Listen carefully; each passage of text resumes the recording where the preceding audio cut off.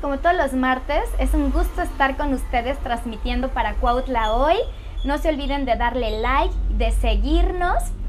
Hoy vamos a hablar de un tema bien padre, que es qué palabras son básicas en el desarrollo de la autoestima de tu hijo. Pedagógicamente hablando, no puede resultar nada, no puede florecer nada como lo marcan algunos autores. Uno de mis favoritos, Ortega y Gasset, no puede haber, no puede florecer un aprendizaje si no les hablas bonito a tus alumnos. Si tú como pedagogo no, no les dices lo importante que son. Te digo a ti como papá, no necesitas ser profesor, pedagogo, psicólogo, no. Necesitas conocer unas palabras que son así como que mágicas, como una varita. Me dicen, oye, mis deseos es que a ti te obedece a la primera. Oye, mis deseos es que yo le tengo que pegar. No, no, no, no. O sea, no, no pegues. Hoy te voy a dar unas palabras. Hay infinidad, hay infinidad. Pero estas son como que básicas y súper, súper fáciles de recordar como papá. La primera, decirle siempre las cosas mirándolo a los ojos. Si es muy pequeñito, te haces pequeñito para tener ese contacto visual, ¿sí?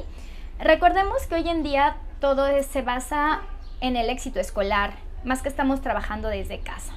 Aquí, cuando él te diga, no quiero trabajar o lo hago después, tú hazte pequeñito, si es que él está chico de edad, y dile, a ver, ven, vamos a hacerlo juntos podemos terminarlo pronto. Me interesa hacerlo contigo. Tú puedes. Si no eres bueno en esto, te ayudaré a que juntos podremos. Eres el mejor hijo. Y como eres el mejor hijo, vamos a sacar esto pronto. Si tú le recuerdas a tu hijo de dónde viene y quién es, no es necesario que le grites ni que lo lastimes. Basta con que le digas, te amo, y él va a cambiar.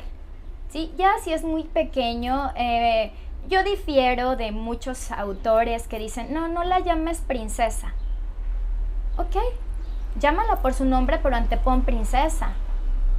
Siempre es bonito, simple y sencillamente te lo dejo a ti de tarea. ¿Qué pasa cuando ves a alguien y te dicen, hola, ¿cómo estás guapa? ¿Cómo estás linda? Oye, entonces ahora imagínate cuando somos pequeños.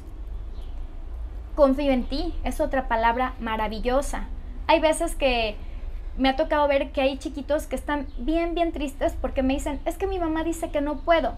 Si tú como mamá, como papá, como tío le dices, es que él no puede, es que él no sabe, créemelo. Aparte de que le estás aplastando su autoestima, por la vida él va a decir, no, yo no puedo hacer nada. No se va a creer capaz. Pero si tú le dices, yo confío en ti, no te preocupes, a mí no me salió a la primera. Entonces, tú le debes de dar esa seguridad, esa autoestima. Bueno, si quieres más consejos, síguenos aquí en Cuautla hoy.